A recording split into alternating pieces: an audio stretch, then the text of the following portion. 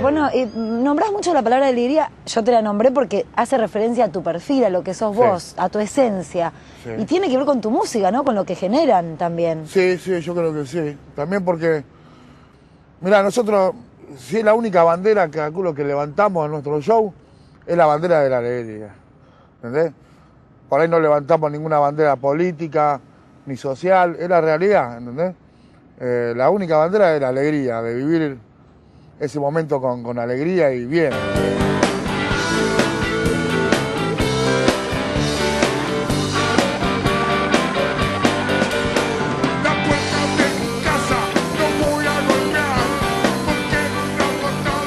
Le deseo mucha locura, muchas felicidades, con alegría, che. Me acordé de ese momento, ¿no? Del, del muchacho este que nos presentaba y, y de ahí en más la radio esa la empezó, lo- esa, esa frase la, la ponía cada rato, ¿entendés? O sea, en, en diferentes programas.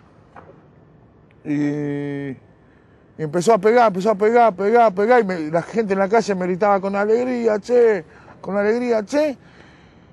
Y nosotros estábamos haciendo un disco. ¿entendés?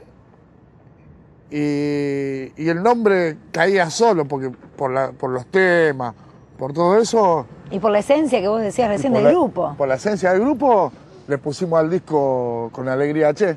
O sea, el nombre del, del disco estaba antes que, que- Que el disco mismo. que el disco mismo. Que a veces al revés, por ejemplo, en tu último disco no significa nada.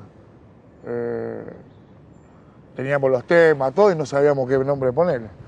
Y por eso no significa, No significa nada, El claro. título no significa nada. Lo importante es lo que estamos diciendo. She's so we can cruise on out. ¿Con quién compartías esos momentos de adolescente? En donde no te amigos. importaba nada. Con mis amigos del barrio, con, con, con mis amigos del barrio. Con mis amigos del barrio. Con mis amigos del barrio, sí. ¿Qué barrio? Y- y- La Florida, acá. Acá. Por eso Claro. estamos acá. Por eso estamos Sí, acá. sí. Mirá qué lindo que se puso. Es otra cosa. Yo cuando nosotros veníamos acá a pescar, toda esta zona.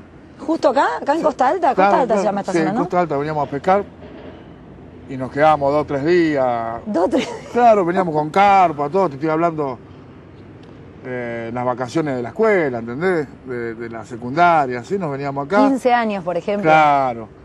¿Y veníamos, hacíamos fuego, pescábamos toda la noche, comíamos lo que pescábamos, así bien a lo loco. Parecía que estábamos, qué sé yo, jugábamos a la guerra, qué sé yo. Éramos medio grandes para jugar la guerra. Pero antes no era lo Bueno, mismo. que eso te iba a decir. A lo- Antes éramos más inocentes, Eso. seguro. Los 15 de antes era, era otra cosa. Claro, otra cosa. Ahora es todo mucho más precoz. Sí. Eh, bueno, y se pasaban tres días acá. ¿Y los padres qué decían? No, estaban tranquilos porque sabíamos que estábamos acá. ¿entendés? No había celular, nada. Bueno, muy tranquilos no estábamos.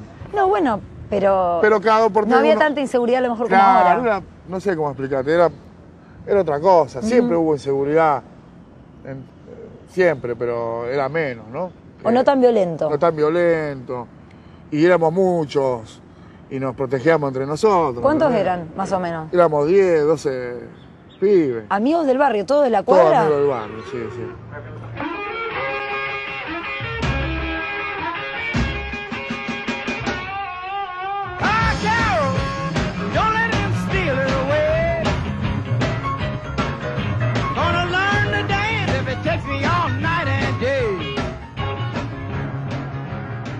Con los chicos del barrio formaron una banda, ¿no? Eh, yo estaba con ellos, pero yo no cantaba nada, yo iba a escucharlo, porque tocábamos primero la guitarra en la, en la esquina, Sí. en la cortada del barrio. ¿Qué cortada? La cortada de Pegasini y Ugarte.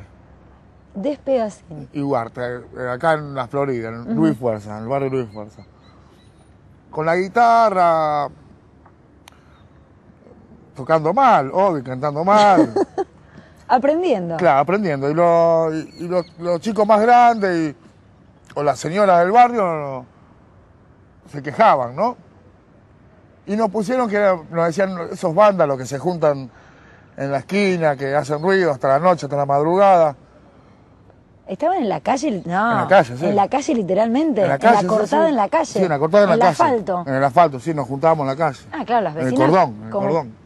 vecina- el cordón. Como para que no estén un poquito mal. En Claro. esta época sería otro el nombre entonces. No dirían aquellos vándalos, dirían aquellos hijos de. Bueno, no, no, eran vándalos, lo decían vándalos. No, pero por eso digo, en esa época, Claro, ahora, ahora las dicen- vecinas, te dirían otra cosa. No lo quiero Y decir. le hubieran puesto otro nombre al grupo. Los hijos de. De Cuca, exacto. lo- Bueno, y, eh, a- lleguemos a Popono y vos dijiste, ¿qué hago? ¿Qué toco? ¿Qué... ¿Alguien cantaba? ¿No cantaba nadie? No cantaba Cristian. Ajá. Y tocaron una vez en vivo. Y Cristian fue su única y, y última vez porque dijo: No, yo no me gusta, no, no tenía el carisma, no quería saber nada. Entonces empezaron a nombrar a todos los amigos del barrio ahí que, que, que nos juntábamos ahí, empezaron uno por uno, este, este, este, cuando el Popono, vamos a decir a Popono, ¿por qué? Porque siempre con el espíritu que tengo yo, de, de alegría, de, y porque me gustaba mucho la música, los, compartíamos muchos gustos musicales. Y bueno, me agarraron en un cumpleaños eh, medio escabiado. ¿Entendés? Claro. Si no le digo que no, tómense hasta, ¿no? Que ustedes querían cantar yo. Le dije, sí, que no, bueno, bueno, mañana ensayamos. Bueno, bueno, ensayamos. Y se fueron, yo estaba en otro cumpleaños con otra gente, ¿no? Te y al otro día te me levanté y tenía que ir a ensayar. Dijiste, ¿qué dije? No me acuerdo. Claro. Y más así, yo voy. Y bueno, hasta el día de hoy no frenamos nunca.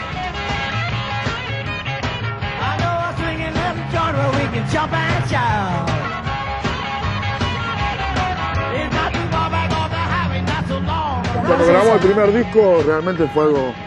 Acá en Rosario nos fue muy bien, eh, estuvo muy bien la venta, llenábamos donde tocábamos. Y ahí ya nos dimos cuenta que era lo nuestro. Eh, mirá, yo te digo, empezó, a ser, empezó como un juego. Después eh, pasó a ser un juego y una pasión. Y después pasó a ser un juego, pasión y trabajo. Ahí está, te lo resumí bien. Perfecto, Como si genio supiera.